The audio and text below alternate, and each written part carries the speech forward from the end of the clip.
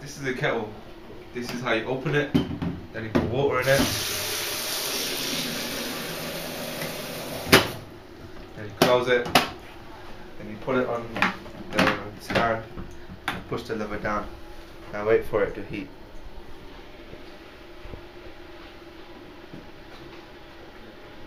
Oh, it's done. And there's your boiled water.